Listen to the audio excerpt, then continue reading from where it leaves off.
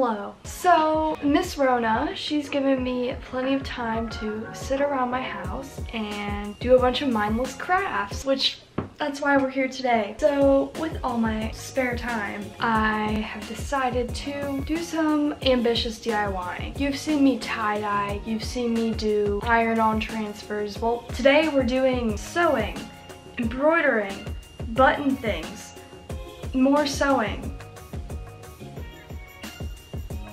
and some more sewing. Anyways, I'm gonna shut up because no one cares to hear me talk. Let's just jump into some fun little DIYs that I've been working on to keep myself occupied. Alright, so up first we're going to talk about tops. So after making a quick trip to the store, first I went to Michael's. It is only one only, like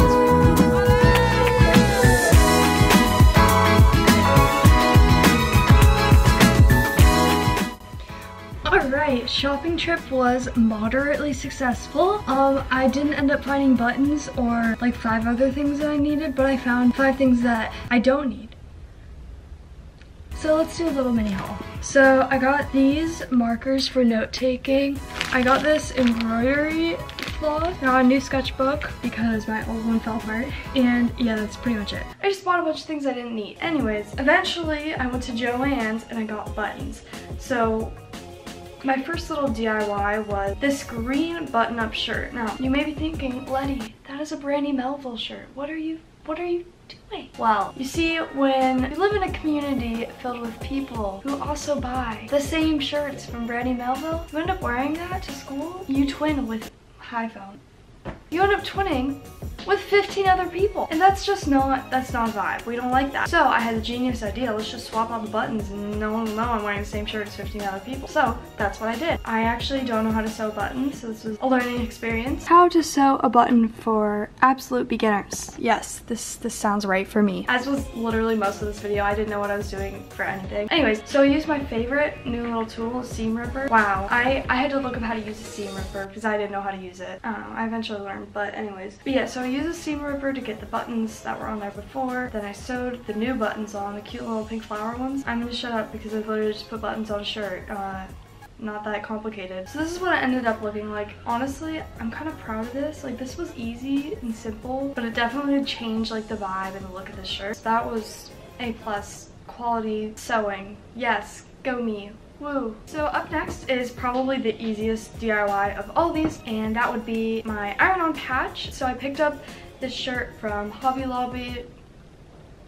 Did I say I went to Joann's earlier? I did not go to Joann's. That's a big fat lie. I went to Hobby Lobby. Joann's is closed right now. Anyways, I went to Hobby Lobby and I picked up this shirt. It was like four or five dollars. I don't, when I go to craft stores and I see cheap shirts, I get really excited because I'm like, this shirt is only four dollars. It blows my mind. Anyways, that's besides the point. So I picked up this shirt. It's a very nice shade of blue. I got it a little oversized because I'm planning to wear it just as like a baggy t-shirt. And then I picked up these really really cute patches. So yeah, I took the iron-on patch and I ironed it on. All right, here, here's past Letty doing that. Hello. I don't have the slightest clue what I'm doing. I should grab my ruler. We don't want an off-center thing. One second. Step one, plug the iron in. Also, this might be just a me thing, but my iron causes like power surges at our house. And whenever you turn it on, like the lights flicker. So that's really quirky and fun, I guess. Step one, complete. Shirt, $4 at Hobby Lobby. Do I look tan? Anyways, okay, I'm going to iron out my shirt first because she's a little wrinkly. I'm gonna be so mad if I put this on crooked. I'm gonna be so mad. So mad. Oops. Have I mentioned I've never done an iron-on patch before? Now, it says to wait until it's cool to the touch, but I'm a little bit impatient, so I'm just gonna put it on. Yay, I put it on right. I wish it was a little higher actually, but it's okay. Go past Letty. Anyways, moving on. So the next thing I did was embroider a shirt. Now this was the first thing I ever embroidered, so be kind, please. I didn't know what I was doing. It shows. So I was like starting to lay out the thing for my shirt, and, and then and then I turn around, and there's a wasp in my room. There's a wasp in my room. Can you tell I'm panicked? I'm so afraid of bees and wasps and... Did you kill it? Where is it? Where? Well, he's down here. I swatted He's him outside. times. He's out. Oh my gosh. I'm never opening my window ever again. Remember that sketchbook I bought from Michaels that I said I didn't need, but I got it anyways? Yeah. I used it. Yay for justifying unnecessary purchases. So I drew out the design in the sketchbook. Also picked up a green shirt from Michaels. So I cropped the shirt and I did a little embroidery. So I've kind of given up on watching tutorials on how to embroider, so I'm just gonna wing it. Somehow already ruined everything. Wow, okay. I think I've gotten myself into a project that I cannot handle. I don't know what I'm doing, can you tell? This is kind of complicated. Oh my god, I'm so bad at embroidery. Anyways, so I try to like do these like sloppy little flowers and they were sloppy alright.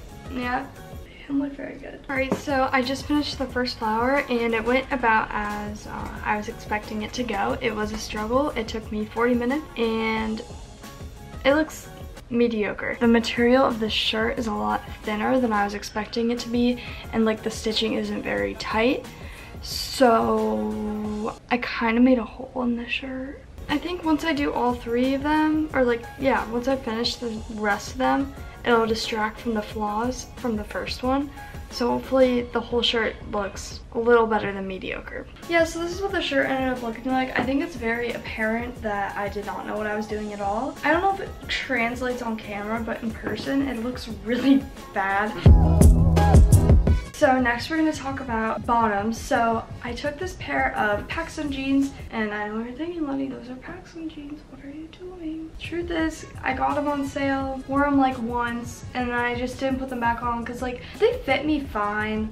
But it's like, I feel like everyone has that one pair of jeans that like, there's nothing wrong with them. You just don't go for them. You have better jeans than those pair. You know what I mean? I don't know. I just always pick to wear like a different pair of jeans over those because they just, they didn't fit me in the most flattering way they fit me. So I ended up taking those jeans and a pair of jean shorts that didn't fit me and I, I went at it with my, my best friend, the seam ripper, and I ripped those seams. I didn't explain what I was doing. Essentially, I wanted to, you know how everyone's doing that like bleach down thing? Like that's cute, but that's a lot of work and I don't want my jeans to smell like bleach. So I was like, okay, what if we do a little bit of surgery? We remove the little front side pocket thing that serves like absolutely no purpose at all whatsoever and swap it with a different color denim pocket. It's subtle, but it does something. And at first I was like planning on making a I was planning on sewing my own pocket, which I ended up spending a lot of time on, and then I took a step back and I was like, this looks awful.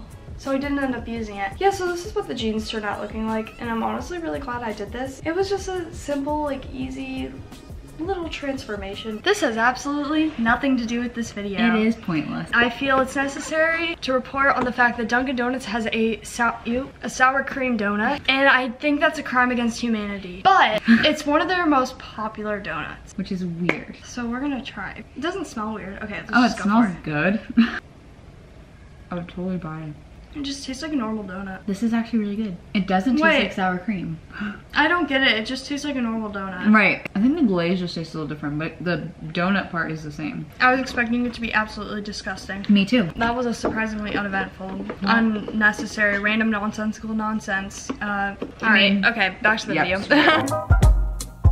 So now we're gonna jump into accessories. With all my leftover fabric scraps, I ended up making a bunch of scrunchies, which is my new favorite, mindless, brainless activity. I was really enjoying myself, okay? I would sit down, I'd just like turn on YouTube or Netflix or Disney Plus, and I'd sit there and just mindlessly sew the same thing for hours on end. I tried to make a denim one out of the shorts, but there wasn't enough fabric, and that didn't work out, and I was sad because I was, it'd be so cool to have a denim scrunchie. Sometimes dreams can't come true. It's because I didn't have enough fabric, but I want to make it work it didn't work. So when I was at Michael's, I found this backpack on clearance. It was $7 and I was like, this backpack is kind of cute and could be functional. I was like, okay, this backpack, I'll take it. I'll learn to embroider and then I will embroider fruit onto it because why not? So that was the plan. So I ended up drawing out some designs and I ended up going with a banana, a pear, and a strawberry, which Looking at it now, it looks awful and I hate that I decided to do that. I first started with the pear. The pear was, it looks the best out of the other fruits and I think that's because it's easy. I did it again.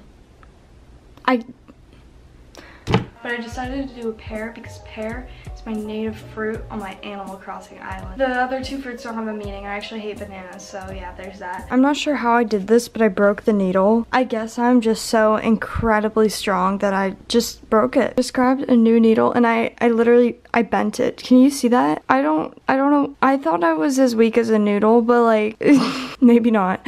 I ended up doing strawberry, which was really hard and it looks bad. And I think I want to tear it off and do an orange. And then I really struggled with drawing a banana for some reason. It's, I don't know what it is about bananas, but like I challenge you to go draw one right now because it's not as easy as it looks. I could not draw a good looking banana to save my life. And it, it translates. All right, so that's all I have for today. I hope you guys enjoyed this video. It's a little different than what I usually post, but you know, I'm saying that every video now, so who knows what I post. All right, I'm gonna head out. Okay, bye.